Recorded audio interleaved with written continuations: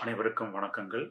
மாண்புமிகு உயர்கல்வித்துறை அமைச்சர் அவர்களின் அறிவிப்பின்படி தமிழ்நாட்டில் உள்ள அரசு அரசு உதவி பெறும் மற்றும் சுயநிதி பொறியியல் கல்லூரிகளில் மாணவ மாணவிகள் சேர்வதற்கான இணையதள வாயிலான விண்ணப்ப பதிவு இருபது ஆறு இரண்டாயிரத்தி இருபத்தி ரெண்டு முதல் தொடங்குகிறது. அஹ், மாணவ மாணவிகள் பத்தொன்பது ஏழு ரெண்டாயிரத்தி இருபத்தி ரெண்டு வரை தங்களுடைய விண்ணப்பங்களை இணையதள வாயிலாக பதிவு செய்யலாம். ஒரு மாதம் அவகாசம் இருப்பதால் மாணவர்கள் பொறுமையாக தங்களது விண்ணப்பங்களை பதிவு செய்யலாம். மாணவ மாணவிகள் விண்ணப்பம் பதிவு செய்ய வேண்டிய இணையதள முகவரி W W W dot TNEA online dot ORG இந்த இணையதள முகவரி மேற்குறிப்பிட்ட இணையதள முகவரி என்பதுதான் official website of TNEA so மாணவ மாணவிகள் தங்களுடைய விண்ணப்ப பதிவு முதல் இறுதியில் தங்களுக்கு தேவையான க கல்லூரி மற்றும் பாடப்பிரிவை தேர்வு செய்து தங்களுடைய ஒதுக்கீட்டு ஆணையை பெற்று கல்லூரியில் சேரும் வரை இந்த இணையதள முகவரியை தொடர்ந்து பார்த்து வர வேண்டும். இது மாணவ மாணவியர்களுக்கு தேவையான அனைத்து விவரங்களும் இந்த இணையதளத்தில் அவ்வப்பொழுது பதிவேற்றம் செய்யப்படும். விண்ணப்ப பதிவினை இணையதள வாயிலாக ஆரம்பிக்கும் முன்பாக மாணவர்கள் கையில் தயாராக வைத்திருக்க வேண்டிய விவரங்கள். முதலாவதாக ஒவ்வொரு மாணாக்கரும் தங்களுக்குரிய இமெயில் ஐடியை தெளிவாக வைத்திருக்க வேண்டும். இந்த இமெயில் ஐடி என்பதுதான் உங்களுடைய யூசர் நேம் கலந்தாய்வு நடைமுறையை பொறுத்தவரை பதிவு செய்யும் முதல் நீங்கள் ஒதுக்கீட்டு ஆணையை பெற்று கல்லூரியில் சேரும் வரை உங்களுடைய யூசர் ஐடி என்பது உங்களுடைய இமெயில் ஐடி. மொபைல் எண் கேட்பார்கள். ரெஜிஸ்டர்டு மொபைல் நம்பர் என்று சொல்லுவார்கள். அந்த மொபைல் நம்பரில் தான் உங்களுக்கு அப்போ அவ்வப்பொழுது மெசேஜ்கள் அனுப்பப்படும். நீங்கள் கையில் தயாராக வைத்திருக்க வேண்டிய விவரங்கள் உங்களுடைய இமெயில் ஐடி பாஸ்வேர்ட் மற்றும் ஒரு ரெஜிஸ்டர்ட் மொபைல் நம்பர் விண்ணப்ப பதிவு முதல் கலந்தாய்வு முடியும் வரை மாணாக்கர்களுக்கு உதவி செய்வதற்காக வேண்டி தமிழ்நாடு மு- முழுவதும் நூற்றி பத்து பொறியியல் சேர்க்கை சேவை மையங்கள் நிறுவப்பட்டுள்ளன. ஒவ்வொரு மாவட்டத்திலும் குறைந்தது இரண்டு பொறியியல் சேர்க்கை சேவை மையங்கள் நிறுவப்பட்டுள்ளன. எனவே மாணவர்கள் தங்களுடைய சந்தேகங்களை அங்கு சென்று நிவர்த்தி செய்து கொள்ளலாம். தேவைப்பட்டால் பொறியியல் சேவை மையங்களுக்கு சென்று தங்களுடைய விண்ணப்பங்களை பதிவு செய்யலாம். விண்ணப்ப பதிவை எப்படி செய்ய வேண்டும் என்ற வழிமுறை ஒரு வீடியோவாக ஒவ்வொரு ஸ்கிரீன்ஷாட்டாக எடுத்து அது இந்த அபிஷியல் வெப்சைட்டில் W W W dot TNE online dot ஓஆர்ஜியில் பதிவேற்றம் செய்யப்படும். அதை பார்த்த பிறகு நீங்கள் தங்களுடைய விண்ணப்பங்களை பதிவு செய்யலாம். உங்களுடைய சான்றிதழ்களை எவ்வாறு நீங்கள் ஸ்கேன் செய்து என்னென்ன ஃபார்மேட்டில் அது சப்போர்ட் பண்ணும் அதே மாதிரி ஒவ்வொரு சான்றிதழினுடைய சைஸ் எவ்வளோ கேபி வரைக்கும் நீங்கள் ஸ்கேன் பண்ணணும் எவ்வளோ எம்பி வரைக்கும் ஸ்கேன் பண்ணணும் அந்த மாதிரி தகவல்கள் உங்களுக்கு வந்து வீடியோவில் கொடுக்கப்பட்டுள்ளது. விண்ணப்ப பதிவிற்கான கட்டணம் ஓசி பிசி ஒரு எம்பிசி அண்ட் டிஎன்சி ஐநூறு ரூபாய். எஸ்சி எஸ்சி அண்ட் எஸ்டி பிரிவினருக்கு இரநூத்தி ஐம்பது ரூபாய்கள். பேமெண்ட் என்ற ஒரு ஆப்ஷன் இருக்கும். அதில் சென்று நீங்கள் ஆன்லைன் வாயிலாக பே பண்ணலாம். Credit card debit card or UPI என்ற அனைத்து வகையான வழிமுறைகளிலும் நீங்கள் ஆன்லைன் வாயிலாக அமௌண்ட்டை ட்ரான்ஸ்ஃபர் செய்யலாம்.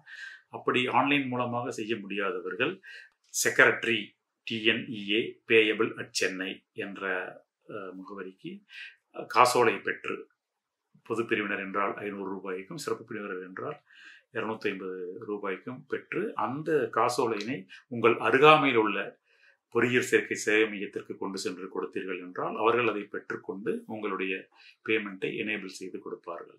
விண்ணப்ப பதிவு போது ஐந்து வகையான தகவல்கள் உங்களிடமிருந்து பெறப்படும். முதலாவதாக பார்த்தீங்கன்னா பர்சனல் இன்ஃபர்மேஷன் என்ற தலைப்பின் கீழ் உங்களுடைய பெயர் உங்கள் ஊர் போன்ற தகவல்கள் உங்களிடம் பெறப்படும். இரண்டாவதாக ஸ்பெஷல் ரிசர்வேஷன் இன்ஃபர்மேஷன் அதாவது நீங்கள் இனி விளையாட்டு வீரரா விளையாட்டு வீரர் என்றால் மாநில அளவில் பங்கேற்று அதற்கு சான்றிதழ்கள் பெற்றிருக்க வேண்டும். எங்களுடைய இணையதளத்திலேயே இன்ஃபர்மேஷன் ப்ரௌச்சர் என்று ஒரு தகவல் உள்ளது. விண்ணப்பம் பதிவு செய்வதற்கு முன்பு அதை ஒரு முறை கோத்ரூ செய்தீர்கள் என்றால் உங்களுக்கு தெளிவாக விளங்கும். அதேபோல் நீங்கள் முன்னாள் விளையாட்டு வீரர்களின் குழந்தைகளா அல்லது மாற்றுத்திறனாளிகளா போன்ற விவரங்கள் எந்த வகையான பிரிவைச் சேர்ந்தவர் என்ற விவரங்கள் அனைத்தும் இந்த ஸ்பெஷல் ரிசர்வேஷன் என்ற தலைப்பின் கீழ் பெறப்படும். அதன் பிறகு ஸ்காலர்ஷிப் இன்ஃபர்மேஷன் நீங்கள் முதல் பட்டதாரியா உங்கள் குடும்பத்தில் ஃபர்ஸ்ட் ஜென்ரேஷனா அல்லது பிஎம்எஸ்எஸ் என்று சொல்லக்கூடிய ஸ்காலர்ஷிப்புக்கு நீங்கள் தகுதியானவரா என்ற விவரங்கள் அந்த தலைப்பின் கீழ் பெறப்படும். அதன் பின்பு ஸ்கூல் ஆஃப் ஸ்டடி இன்ஃபர்மேஷன் நீங்கள் எந்த பள்ளியில் பயின்றீர்கள் நீங்கள் எட்டு முதல் பன்னிரெண்டு வரை தமிழ்நாட்டில் பயின்றீர்களா? அல்லது ஆறு முதல் பன்னிரெண்டாம் வகுப்பு வரை அரசு பள்ளிகளில் பயின்றுள்ளீர்களா? இப்பொழுது தமிழக அரசு வந்து உங்களுக்கு ஆறாம் வகுப்பு முதல் பன்னிரெண்டாம் வகுப்பு வரை அரசு பள்ளிகளில் பயின்ற மாணவ மாணவியர்களுக்கு அனைத்து வகையான ஃபீஸும் அரசாங்கமே கட்டுகிறது. கட்டணம் ஃபீஸு விடுதி மற்றும் போக்குவரத்து ஃபீஸ் போன்ற அனைத்து வகையான கட்டணங்களும் அரசால் ஏற்றுக்கொள்ளப்படும். எனவே நீங்கள் ஆறாம் வகுப்பு முதல் பனிரெண்டாம் வகுப்பு வரை அரசு பள்ளியில் பயின்றீர்களா என்ற விவரம் கேட்கப்படும். ஆம் என்றால் எந்த பள்ளியில் பயின்றீர்கள் என்ற விவரம் கேட்கப்படும். இதை ஜாக்கிரதையாக மாணவர்கள் பதிவு செய்ய வேண்டும். எனவே நீங்கள் ஆறு முதல் பன்னிரெண்டு வரை அரசு பள்ளியில் பயின்றிருந்தீர்கள் என்றால் உங்களுக்கு இடஒதுக்கீடு ஒன்று ஏழு புள்ளி ஐந்து சதவீத இடஒதுக்கீடு ஒன்று. அது மட்டுமல்லாமல் உங்களுக்கு கட்டணச் சலுகையும் தமிழக அரசால் வழங்கப்படும். எனவே இந்த தகவல்களை நீங்கள் பொறுமையாக ஒரு மாத காலம் அவகாசம் இருக்கிறது. பொறுமையாக நீங்கள் பதிவேற்றம் செய்ய வேண்டும். விண்ணப்ப பதிவு முடிந்தவுடன் அனைத்து விண்ணப்பம் செய்த மாணவ மாணவிகளுக்கும் ரேண்டம் எண் என்று சொல்லக்கூடிய ஒரு சமூக எண் வழங்கப்படும். அது வந்து ஒரே மாதிரி கட் ஆஃப் பெற்றிருக்கிற மாணவர்களுடைய அஹ், தரவரிசை கொடுக்கக்கூடிய ஒரு நம்பர் தான். அது வந்து இருபத்தி ரெண்டு ஏழு ரெண்டாயிரத்தி இருபத்தி ரெண்டு அன்று வழங்கப்படும். அதுக்கப்புறம் உங்களுடைய நீங்கள் பதிவேற்றம் செய்த சான்றிதழ்கள் பொறியியல் சேர்க்கை சேவை மையங்களில் இருபது ஏழு ரெண்டாயிரத்தி இருபத்தி ரெண்டு முதல் முப்பத்தி ஒன்று ஏழு ரெண்டாயிரத்தி ரெண்டு வரை சரிபார்க்கப்படும். அதன் பின்பு எட்டு எட்டு ரெண்டாயிரத்தி இருபத்தி ரெண்டில் உங்களுக்கு தரவரிசை பட்டியல் வெளியிடப்படும். ஸோ அப்போ பார்த்தீங்கன்னா உங்களுக்கு வந்து உங்களோட கட் ஆஃப் என்ன? நீங்கள் உங்களோட ரேங்க் என்ன அப்படிங்கிறது உங்களுக்கு தெரிஞ்சிடும் உங்களுக்கு வந்து ஒரு ஜென்ரல் ரேங்க்னு வந்துருக்கும். அப்புறம் நீங்கள் பிசி பிரிவினர் சேர்ந்தவங்கன்னா பிசியில் உங்களோட கம்யூனிட்டி ரேங்க் என்ன அப்படிங்கிறதும் உங்களுக்கு கொடுத்துருவாங்க. ஸோ அதுக்கப்புறம் பார்த்தீங்கன்னா அதில் ஏதாவது உங்களுக்கு குறைபாடுகள் இருந்தால் அதை நீங்கள் அருகில் இருக்கிற பொறியியல் சேர்க்கை சேவை மையங்களுக்கு சென்று முறையிடலாம். அதற்கு ஒரு வார அவகாசம் கொடுக்கிறார்கள். ஒம்பது எட்டு ரெண்டாயிரத்தி இருபத்தி ரெண்டுலேருந்து பதினாலு எட்டு ரெண்டாயிரத்தி இருபத்தி ரெண்டு வரை நீங்கள் சென்று ஏதேனும் உங்கள் சந்தேகம் இருந்தால் நீங்கள் அதை நிவர்த்தி செய்து கொள்ளலாம். அதன் பிறகு சிறப்பு பிரிவினருக்கான கலந்தாய்வு நடைபெறும். பதினாறு எட்டு முதல் பதினெட்டு எட்டு ரெண்டாயிரத்தி இருபத்தி ரெண்டு வரை மாற்றுத்திறனாளிகள் மற்றும் முன்னாள் படை வீரர்களின் குழந்தைகள் அது மட்டும் இல்லாமல் விளையாட்டு வீரர்களுக்கான கலந்தாய்வுகள் நடத்தப்படும். அதன் பின்பு பொது கலந்தாய்வு என்று சொல்லக்கூடிய கலந்தாய்வு வந்து இருபத்தி ரெண்டு எட்டு ரெண்டாயிரத்தி இருபத்தி ரெண்டு முதல் பதினாலு பத்து ரெண்டாயிரத்தி இருபத்தி ரெண்டு வரை நடைபெறும். பொது கலந்தாய்வு பொது பிரிவில் படித்த மாணவர்கள் மற்றும் தொழிற் பிரிவு படித்த மாணவர்களுக்கும் சேர்த்து நடத்தப்படும். பொது கலந்தாய்வு என்பது நான்கு சுற்றுகளாக நடைபெறும். உதாரணமாக ஒரு லட்சத்தி முப்பதாயிரம் மாணவர்கள் பதிவு செய்து உள்ளார்கள் என்று வைத்துக்கொண்டால் ரேங்க் ஒன்னிலிருந்து பதினைஞ்சாயிரம் வரை உதாரணமாக இந்த முறை சரியான ரேங்க் மற்றும் cut off for round one round two round three round four will be available in the website அந்த வெப்சைட்டில் நாங்கள் அந்த டைமில் போடுவோம். உதாரணமாக பார்த்தீங்கன்னா ஒரு ரேங்க் ஒன்றுலேருந்து பதினையாயிரம் வரைக்கும் முதல் சுற்று பதினையாயிரத்தி ஒன்றுலேருந்து முப்பதாயிரம் வரைக்கும் வாங்கின ரேங்க் வாங்கின மாணவர்கள் இரண்டாவது சுற்றில் பங்கேற்கலாம். முப்பதாயிரத்து ஒன்றிலிருந்து ஐம்பதாயிரம் வரைக்கும் தரவரிசை பட்டியலில் உள்ள மாணவர்கள் மூன்றாவது சுற்றிலும் ஐம்பதாயிரத்துக்கு மேல் கடைசி வரை உள்ள மாணவர்கள் நான்காவது சுற்றிலும் பங்கேற்கிற மாதிரி உங்களுக்கு அட்டவணை கொடுக்கப்படும். இந்த ஒவ்வொரு சுற்றிலும் நான்கு ஸ்டேஜ்கள் உண்டு கலந்தாய்வில் அதாவது முதலாவது ஸ்டேஜுங்கிறது சாய்ஸ் ஃபில்லிங் என்று சொல்லுவார்கள். உதாரணத்திற்கு முதல் சுற்றை எடுத்துக்கொண்டால் ரேங்க் ஒன்னிலிருந்து ரேங்க் பதினையாயிரம் வரை வாங்கிய மாணவ மாணவியர்கள் பங்கேற்பார்கள். அவர்கள் அனைவரும் தங்களுடைய சாய்ஸ் ஃபில்லிங் என்று சொல்லக்கூடிய முதல் ஸ்டேஜுக்கு வர வேண்டும். அந்த சாய்ஸ் ஃபில்லிங் என்பது மூன்று நாட்கள் வழங்கப்படும். ஒரு சாய்ஸ் அப்படிங்கிறது என்னன்னு கேட்டிங்கன்னா உங்களுக்கு விருப்பமான கல்லூரி மற்றும் பாடப்பிரிவு.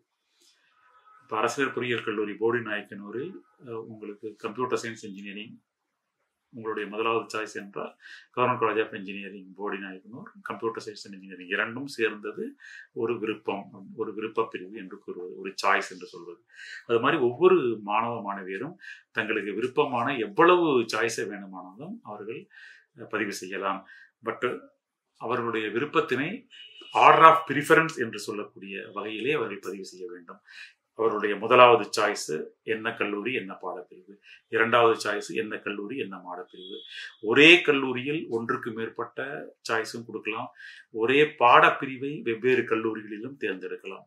ஸோ ஒரு மாணவ மாணவி தனக்கு விருப்பமான எவ்வளவு விருப்பமான சாய்ஸையோ அவ்வளவு விருப்பமான சாய்ஸையும் அவர்கள் பதிவு செய்யலாம். இதுதான் வந்து முதல் ஸ்டேஜ் அப்படின்னு சொல்றது. விருப்பப்பட்டியல் நிரப்புதல் அப்படின்னு சொல்றது. இதுக்கு மூணு நாள் கால அவகாசம் கொடுப்பாங்க. நீங்க பாத்தீங்கன்னா அந்த டிஎன்இ ஆன்லைன் டாட் ஓஆர்ஜியில் போயிட்டு உங்கள் லாகின்ல உள்ள போனீங்கனாலே நீங்கள் சாய்ஸ் ஃபில்லிங் அப்படின்னு போனீங்கன்னா உங்களுக்கு என்னென்ன கல்லூரியில் என்னென்ன பாடப்பிரிவுகள் இருக்குதுன்னு காட்டுவாங்க. அதை வச்சு நீங்கள் உங்கள் சாய்ஸ்களை தேர்வு செய்து அந்த சாய்ஸ்களை வந்து நீங்கள் ரீஆர்டர் பண்ணி வச்சுக்கலாம். என்னோட முதல் சாய்ஸ் இது ரெண்டாவது சாய்ஸ் இது. அந்த மாதிரி நீங்கள் ஆர்டர் பண்ணி உங்கள் சாய்ஸ் லிஸ்ட்டை நீங்கள் ரெடி பண்ணுறதுக்கு மூன்று நாட்கள் கால அவகாசம் உண்டு. இந்த மாதிரி சாய்ஸ் லிஸ்ட்டை நீங்கள் ரெடி பண்ணுறதுக்கு கடந்த ஐந்து ஆண்டுகள் உங்களுக்கு வந்து என்னென்ன கல்லூரியில் என்னென்ன பாடப்பிரிவில் என்ன ரேங்க்குக்கு என்ன கட் ஆஃபுக்கு அந்த பாடப்பிரிவு கடைசியாக கிடச்சிருக்கு அப்படிங்கிற விவரங்கள் வந்து கடை இறுதி ஐந்து ஆண்டுகள். இப்போ ரெண்டாயிரத்தி இருபத்தி ஒன்று இருபது பத்தொம்போது பதினெட்டு பதினேழு. அதில் நீங்கள் போனீங்கன்னா உங்களுக்கு ஒரு ஐடியா கிடைக்கும். உங்களுடைய மார்க்குக்கு உங்களுடைய கட் ஆஃப்க்கு எந்த கல்லூரி என்ன பிரான்ச் கிடைக்கும் அப்படிங்கிறது.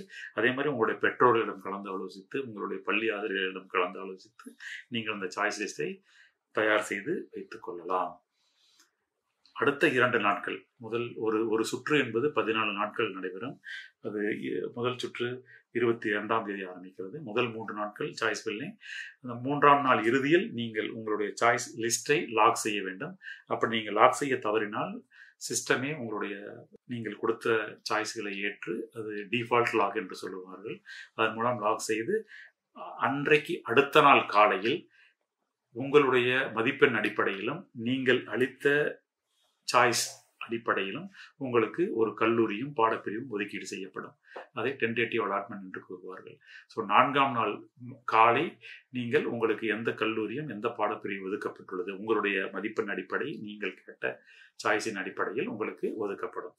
ஸோ நீங்கள் அதை பார்த்த பிறகு அடுத்த இரண்டு நாட்களுக்குள் நாலு மற்றும் ஐந்தாவது நாட்கள். ஐந்தாவது நாள் ஈவினிங் ஐந்து மணிக்குள் உங்களுடைய கன்ஃபர்மேஷன் என்று கூறுவார்கள்.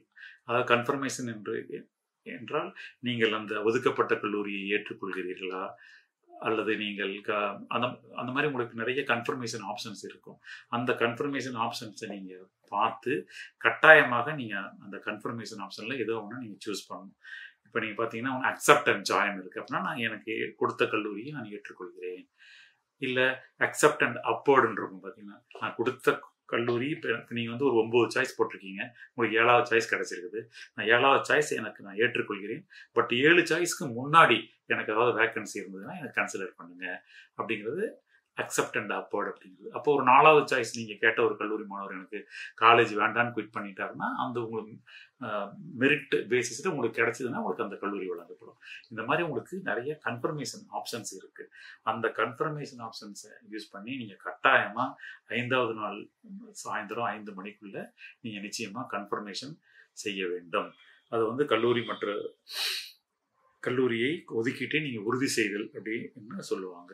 ஸோ முதல் ஸ்டேஜ் வந்து சாய்ஸ் ஃபில் பண்ணுறது ரெண்டாவது ஸ்டேஜ் வந்து உங்களுக்கு டென்டேட்டிவாக உங்களுடைய மார்க் மற்றும் சாய்ஸ் அடிப்படையில் உங்களுக்கு ஒதுக்கீடு ஆகிறது. மூணாவது ஸ்டேஜ் வந்து உங்களுக்கு நீங்கள் கல்லூரி ஒதுக்கீட்டை உறுதி செய்யணும். இப்படி கல்லூரி ஒதுக்கீட்டை நீங்கள் உறுதி செய்யாமல் விட்டால் நீங்கள் உங்களுக்கு ஒதுக்கப்பட்ட கல்லூரியும் பாடப்பிரிவும் உங்களுக்கு ஒதுக்கப்பட மாட்டாது. ஸோ இந்த கன்ஃபர்மேஷன் அப்படிங்கிறது ரொம்ப ரொம்ப முக்கியம். இது மூணாவது ஸ்டேஜ் இப்போ கடந்த ஆண்டுகளில் இந்த ஒதுக்கீட்டானை ஆணை அளித்த உடனே மாணவ மாணவிகள் கல்லூரியில் சென்று சேர்ந்து விடுவார்கள். அடுத்த சுற்றுக்கு நம்ம சென்று விடுவோம். இப்பொழுது கடந்த ஆண்டுகளில் பார்த்தீங்கன்னா இந்த மாதிரி மாணவ மாணவிகள் ஒதுக்கீட்டு ஆணை பெற்று கல்லூரியில் சேராததனால் அதற்கு பின்னால் இருக்கின்ற மாணவர்களுக்கு அந்த கல்லூரியின் வாய்ப்பு கிடைக்காம போய் போகின்ற காரணத்தினால் மாணவ மாணவிகள் தங்களுடைய ஒதுக்கீட்டை உறுதி செய்த பின்பு முதல் சுற்றில் ஆறாம் நாள் காலையில் அவர்களுக்கு இரண்டு வகையான ஒதுக்கீட்டு ஆணைகள் வழங்கப்படும். முதலாவதாக வழங்கப்படுவது ப்ரொவிஷனல் அலாட்மெண்ட் ஆர்டர் இது எந்தெந்த மாணவர்கள் அக்செப்ட் அண்ட் ஜாயின் தனக்கு ஒதுக்கப்பட்ட கல்லூரியையும் பாடப்பிரிவையும் ஏற்றுக்கொண்டு நான் சேர்ந்து கொள்கிறேன் என்று கூறும் மாணவர்களுக்கு ப்ரொவிஷனல் அலாட்மெண்ட் ஆர்டர் வழங்கப்படும். அந்த மாணவ மாணவிகள் தங்களுடைய ப்ரொவிஷனல் அலாட்மெண்ட் ஆர்டரை எடுத்துக்கொண்டு எந்த கல்லூரியை அவர்கள் கேட்டு பெற்றிருக்கிறார்களோ அந்த கல்லூரிக்கு ஆறாம் நாளில் இருந்து முதல் சுற்றில் ஆறாம் நாளில் இருந்து ஏழு நாட்களுக்குள்ளாக அந்த கல்லூரிக்கு சென்று அந்த கல்லூரி முதல்வரிடம் தங்களுடைய ஒரிஜினல் சான்றிதழ்களை சமர்ப்பித்து அந்த கல்லூரியின் கட்டணத்தை செலுத்தி அந்த கல்லூரியில் அவர்கள் சேர்ந்து கொள்ள வேண்டும். இந்த நடைமுறை இந்த வருடத்திலிருந்து பின்பற்றப்படுகிறது. ஏனென்றால் கடந்த ஆண்டுகளில் மாணவர்கள் ஒதுக்கீட்டானை பெற்று கல்லூரியில் சேராத காரணத்தினால் சில கல்லூரிகளில் நிறைய வேக்கன்சி ஏற்படுகின்றது. அந்த மாதிரிய காலி இடங்களை அதற்கு பின்னால் நல்ல மதிப்பெண்கள் பெற்று காத்திருக்கும் மாணவர்களுக்கு கொடுக்க வேண்டும் என்ற எண்ணத்தில் இந்த நடைமுறை இந்த வருடத்திலிருந்து புதிதாக பின்பற்றப்படுகிறது. இரண்டாவதாக வழங்கப்படும் allotment order tentative allotment order இது எந்த வகையான மாணவ மாணவிகள் என்றால் எந்தெந்த மாணவ மாணவிகள் தங்களுக்கு ஒதுக்கப்பட்டுள்ள ஆணையை ஏற்றுக்கொள்கிறேன் மற்றும் முன்னோக்கி நகர்தலுக்கு நான் ஒத்துக்கொள்கிறேன். அதாவது அக்செப்ட் அண்ட் அப்போர்ட் அதுக்கு அர்த்தம் என்னன்னு கேட்டிங்கன்னா இப்போ நீங்கள் ஒம்பது சாய்ஸ் கேட்டிருக்கீங்க. அதில் உங்களுக்கு வந்து ஏழாவது சாய்ஸ் கிடச்சிருக்கு அப்படின்னா அந்த ஏழாவது சாய்ஸ் கிடைச்ச கல்லூரியும் பாடப்பிரிவும் எனக்கு ஓகே ஆனால் அந்த ஏழாவது சாய்ஸுக்கு முன்னாடி நான் கேட்ட வாய்ப்புகள் ஏதாவது எனக்கு கிடைச்சா எனக்கு கொடுங்க. அப்படிங்கிறது தான் அக்செப்ட் அண்ட் அப்போர்ட் அந்த கேட்டகரியில் உறுதி செய்த மாணவர்களுக்கு டென்டேட்டிவ் அலாட்மெண்ட் ஆர்டர் என்று ஒன்று வழங்கப்படும். மாணவ மாணவிகள் என்ன செய்ய வேண்டும் என்றால் அந்த டென்டேட்டிவ் அலாட்மெண்ட் ஆர்டரை எடுத்துக்கொண்டு தங்களுக்கு அருகாமையில் உள்ள டிஎஃப்சி மையத்திற்கு சென்றால் அவ இந்த டிஎஃப்சி மையம் மூலமாக நீங்கள் உங்களுடைய ஒரிஜினல் சான்றிதழ்களை அங்கு சமர்ப்பித்துவிட்டு அவர்கள் உங்களுக்கு நீங்கள் அந்த கல்லூரிக்கு எந்த கல்லூரியை நீங்கள் தற்காலிகமாக எடுத்திருக்கீங்களோ அந்த கல்லூரிக்கு உண்டான தொகையை நீங்கள் ஆன்லைன் மூலமாகவோ டிடி மூலமாகவோ டிஎஃப்சி சென்ட்ரல் அதாவது தமிழ்நாடு மாணவர்கள் பொறியியல் சேர்க்கை சேவை மையத்திற்கு நீங்கள் கடலூரில் உள்ளீர்கள் என்றால் கடலூரில் இரண்டு சேவை மையங்கள் இருக்கும்.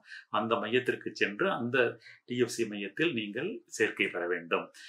அப்படி கல்லூரியில் நேரடியாக சென்றோ அல்லது டிஎஃப்சி மையத்திற்கு சென்றோ நீங்கள் ஏழு நாட்களுக்குள் சேரவில்லை என்றால் உங்களுக்கான ஒதுக்கப்பட்ட சீட்டு ரத்து செய்யப்படும். அந்த சீட்டுகள் சேர்க்கை இடங்களில் சேர்க்கப்பட்டு முன்னோக்கி நகரில் காத்திருக்கும் மாணவர்களுக்கு முதல் சுற்றில் அவர்களுக்கு அந்த சீட்டுகள் வழங்கப்படும். எனவே ஒதுக்கீட்டு ஆணை பெற்றவுடன் ஏழு நாட்களுக்குள் அக்செப்ட் அண்ட் ஜாயின் என்று கூறிய மாணவர்கள் அந்தந்த கல்லூரிகளுக்கு சென்றோம். அக்செப்ட் அண்ட் அப்வர்ட் என்று கூறிய மாணவர்கள் அருகில் உள்ள டிஎஃப்சி மையத்திற்கு பயிர் சேர்க்கை சேவை மையத்திற்கு சென்றோம். உங்களுடைய சேர்க்கையை நீங்கள் உங்களுடைய ஒரிஜினல் சர்டிஃபிகேட் சமர்ப்பித்து உங்களுடைய அந்த கல்லூரிக்கு தேவையான கட்டணத்தை செலுத்தி உறுதி செய்து கொள்ள வேண்டும். அனைத்து தகவல்களும் மேற்குறிப்பிட்ட டிஎன்இ ஆன்லைன் டாட் ஓஆர்ஜி என்ற எங்களுடைய அபிசியல் வெப்சைட்டில் உங்களுக்கு அவைலபிளாக இருக்கும். அனைத்து மாணவ மாணவிகளுக்கும் தங்களுக்கு விருப்பமான பாடப்பிரிவும் கல்லூரியும் கிடைக்க வாழ்த்துக்கள். நன்றி.